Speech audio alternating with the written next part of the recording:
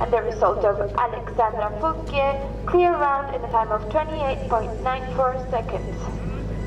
Resultado de Alexandra Fouquier, 0 puntos en un tiempo de 28 segundos con 94 centésimas en la segunda fase.